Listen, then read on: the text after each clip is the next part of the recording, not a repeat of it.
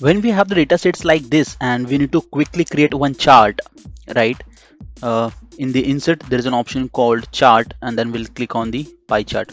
When we click it click on the pie chart we see uh, the names on the top and the details which are available on the column wise these are the bottom one. But i want to see entire uh, four of them you know added in the chart except this thing. So what we can do uh, we'll click on the switch row and column.